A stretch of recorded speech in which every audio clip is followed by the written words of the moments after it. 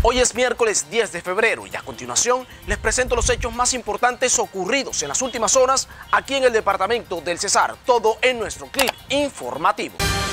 Un incendio acabó con buena parte de las instalaciones del establecimiento conocido como Rancho El Mono en el balneario El Rincón ubicado al norte de la capital del Cesar. El caso fue atendido por el cuerpo de bomberos de Valledupar. El propietario del sitio dijo que la acción fue provocada y pidió a las autoridades la investigación de este caso.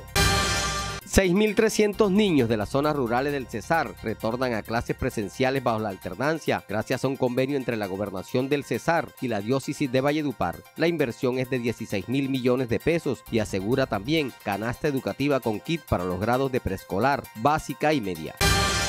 La Corporación Autónoma Regional del Cesar, Corpo Cesar, pidió al municipio de Valledupar y a las curadurías urbanas abstenerse de expedir licencias de construcción cerca de la ronda hídrica del río Guatapurí, hasta tanto no se tengan los estudios que definan su uso. Por ello, debe incorporarse como determinantes ambientales en el plan de ordenamiento territorial del municipio. Un clamor generalizado llega desde la zona corregimental de Valledupar. Los moradores de esta población que paradójicamente se llama Aguas Blancas la están viendo negra por la falta del preciado líquido. Ya son varios días en esta situación que se convierte en un problema de salubridad pública. Aquí en el, corregimiento de Aguas Blancas pidiendo un apoyo a la, a la administración.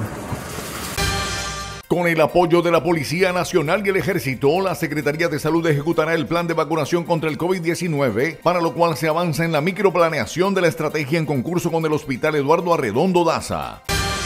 La Personería de Aguachica abrió investigación disciplinaria al secretario de gobierno de ese municipio, Julio Larrota López. El funcionario habría nombrado a una persona sin el lleno de los requisitos de ley cuando se desempeñaba como alcalde encargado de esa localidad del sur del Cesar.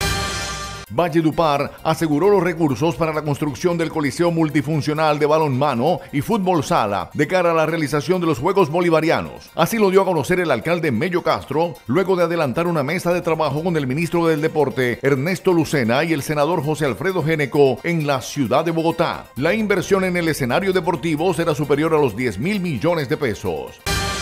La Universidad del Área Andina avanza en una serie de conversatorios sobre la importancia del papel de los comunicadores sociales en la era actual. Hoy miércoles a las 3 de la tarde, Alexandra Correa, periodista de Deutsche Welle en Alemania y freelance de The Washington Post, contará sus experiencias a través del canal de YouTube de Área Andina Valledupar. Hablará de su trabajo en medios de Alemania y Estados Unidos.